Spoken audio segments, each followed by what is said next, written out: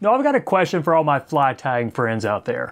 Where do y'all go for inspiration when you're looking for a new pattern to tie? Now, I assume a lot of you go to YouTube. I know I certainly do. I learn a lot by watching the masters out there, Barry Ord Clarke and Mac, and plenty of other great channels. I do read a lot of the blogs and the fly tying forums, and if you're a book nerd like me, you've got plenty of books to just randomly flip through. So I would love to hear in the comments where all y'all go for fly tying inspiration. Now today's pattern, I did find it by flipping through an old issue of Fly Tyer magazine. There was an article from the summer of 2017 called The Fatheads, A Tale of Two Terrestrials.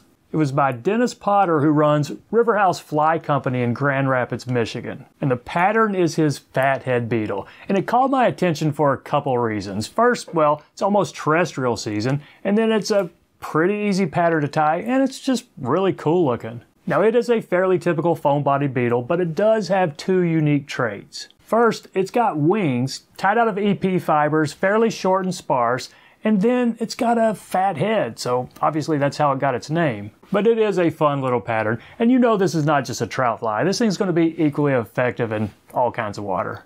So there's one in the vise, Dennis Potter's fathead beetle. Pretty simple pattern. That's what the fish is going to see right there. Now the recipe does say 12 to 16. I'm going with a 14. This is a one extra long dry fly hook. Now the first one I tied was standard length and I think it was just a bit too short. So I think one extra long is the way to go. Black 70 denier thread, let's put a base down around the bend.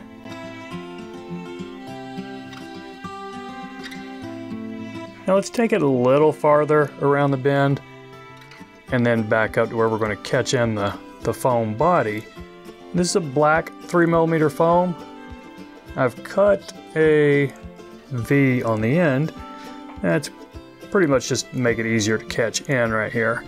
So let's catch it in and go back around, you know, a little bit around the bend. Kind of want a long body here. Now let's bury this and see what we've got. Is that going to be long enough? Yeah, I think we're going to be fine right there. A couple extra wraps. Now let's catch in the underbody, peacock herl. Now the recipe in the magazine says take 8 or 10. I've been doing it with 3 or 4, and I think it's fine.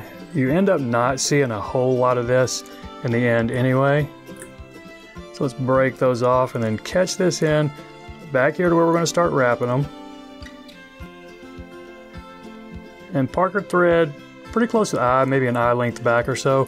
And you might want to spin these together a little bit and just wrap them up.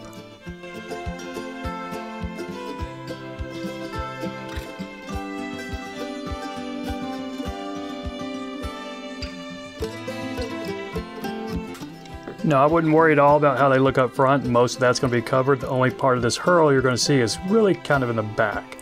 So let's go ahead and fold this over, pull it kind of tight, do a little pinch right here, and then several wraps, you know, maybe eight or 10 wraps. No, not too tight necessarily, but enough and tight enough that hopefully it won't spin on you. And what I usually do, I'll put a couple under, couple over, back under, over, and now a few tight wraps. Just hopefully that'll keep it from spinning. Now the next step, and this is how it gets a fathead name, is fold this over and then push it up, create a little fat head. Now be mindful right here, if you go too far up, you might, you know, I got a little bad piece of foam right there. But if you go too far above your eye, it'll be a little harder to put your tippet through. It won't be impossible, you might just have to push it up when you're on the river. But, you know, keep that in mind. We are creating a fat head here, but we don't want it to go too far above that eye. And I think that's gonna be fine. I'll be able to get my tippet through that right there. But here's something you want to do. Several wraps, create a little flat space right here if you can, because we've got three more components that we're tying in right here between the head and the, the body. Now that head's pretty big, but you know, that's okay. It is a fat head beetle. I'm gonna pull this pretty tight and then snip it off. Now we've got that little piece right there and I'm gonna just use that to help fatten out my area in between them right here. Okay, so there we go. We got our body and a big fat head. Now the next thing, it's the wings. and some EP fibers or the equivalent, nylon, Z-Lon, Raylon, whatever you want. And Dennis in the article said, tie them in one at a time. And the first one I did, I did tie them in one at a time, but I think you can save some time just by, you know, using one piece right here and making them both out of the same one. We are going to trim them pretty short here in just a second. So there we go, we got them coming off the side. I'll go ahead and trim that one just to get it out of the way, but they're going to be shorter than that before we're done. And the next thing, just some black rubber for the legs. I've got one piece, I'm folding it over right here, and I'm just going to try and lay it on either side right here. Pull some extra thread out and do some loose wraps. This is kind of a, a trick that'll help you anytime you're doing rubber legs. So I've only gotten, you know, maybe three pretty loose wraps right there. Take a look at them. Make sure they're coming off how you want. Pull a little bit more thread out. Now I can put a good seven, eight, nine wraps right here. Pretty loose. And then I can go in with tighter wraps and it's not going to cause these legs to spin around. And now we want to trim them to size. So this back one, or maybe not to size, we're just trimming them to, you know, they'll be a little bit shorter than that before we're done, but that makes it a little easier to work with. So really only one more component, just the indicator, one inch strip of egg yarn in a white, yellow, pink, chartreuse orange. This is a fluorescent orange right here. And you know, one inch is going to be plenty. We're going to trim it short here in just a second.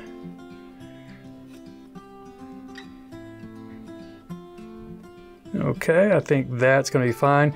Now, one of them I did, I tried to put a couple of wraps just around that. I don't think it was necessary. It's not going anywhere after you've got, you know, several wraps right there. So what I've been doing, I've just been going straight to the whip finish right there behind the eye.